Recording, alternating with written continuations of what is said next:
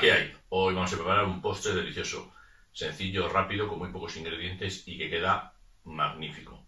Vamos a preparar una quesada, pero en este caso sí que vamos a utilizar queso. La clásica quesada, en este caso la quesada pasiega, se utiliza sin eh, ningún tipo de queso, aunque se llame quesada, pero en este caso sí vamos a utilizar queso. Es una quesada con queso, pero que va a quedar deliciosa.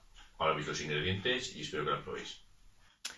Los ingredientes para nuestra quesada con queso son medio kilo de queso fresco, 125 gramos de azúcar, 50 gramos de harina pero de repostería, dos huevos grandes, o en este caso voy a poner tres para ser más pequeños, 50 gramos de mantequilla, la cáscara rallada de un limón o naranja, yo le voy a poner naranja porque me gusta más ese toquecito de, naranja que no es tan ácido del limón, y luego canela en polvo un poquito al gusto.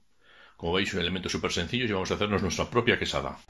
Lo primero que vamos a hacer es, en un bol, vaso batidor o el utensilio que cada uno pueda tener para mezclar los ingredientes, es los 125 gramos de azúcar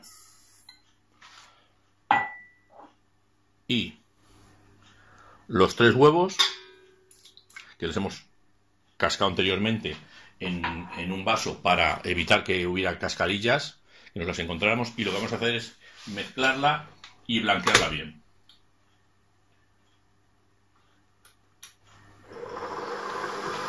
Cuando esté bien mezclado, iremos echando el resto de los ingredientes. Mientras batimos, lo que vamos a hacer es sacar la ralladura de la piel de la naranja. El queso fresco le hemos triturado con ayuda de un tenedor y en el mismo, así ahorramos utensilio, lo que vamos a hacer es rayar lo que os he comentado, la piel de la naranja, en este caso de media naranja.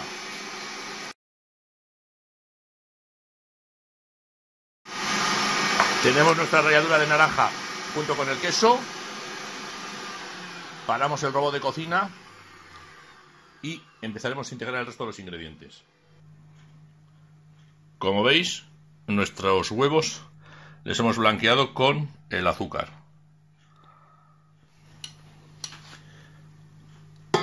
Añadimos el queso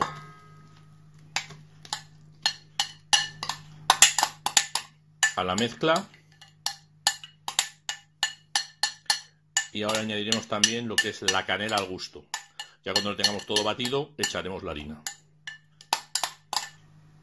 La canela es un poquito al gusto de cada uno. Yo voy a echar como una cucharadita de, café. Batiéndose los ingredientes, queso, canela, junto con los huevos, la ralladura de naranja y el azúcar que habíamos puesto anteriormente. Y sin parar, lo que vamos a hacer es echar la harina. No os olvidéis, harina de repostería.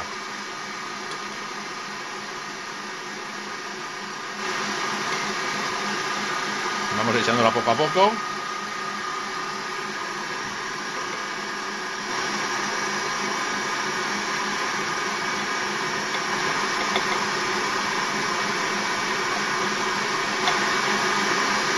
Hasta su disolución total.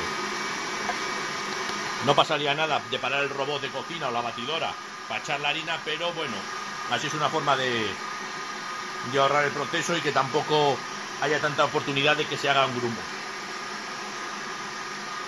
Lo batimos un poco hasta que esté todo homogéneo y ya tenemos el horno precalentado a 200 grados y ya la masa la pondremos en el molde y lo meteremos en el horno.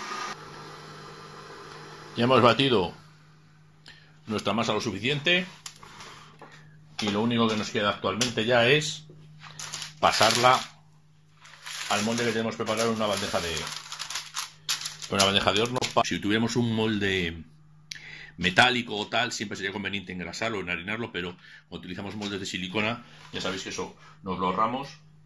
Vertemos nuestra masa por la tarta.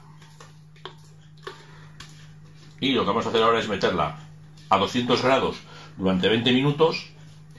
Luego bajaremos a 150 grados sin tocarla y la tendremos otros 10 minutos y por último apagaremos el horno y la dejaremos ya reposar en el horno durante 10 minutos hasta, bueno, hasta que ya más o menos esté el horno frío y ya la sacamos, la dejamos terminar de enfriar y la tenemos lista para, para comer.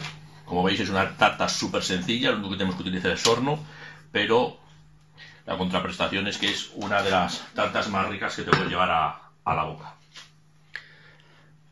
Extendemos bien la masa para que no haya problema. Esta no sube porque no tiene levadura, o sea, es una tarta que no es voluminosa ni, ni, bizcochante, sino es una tarta que queda cremosa y que queda deliciosa. Ya la voy a meter ya al horno y dentro pues de unos 45 minutos, una hora, nos vemos. Nuestra quesada con queso ya fuera del horno. Ahora lo único, dejarla enfriar y ñam ñam.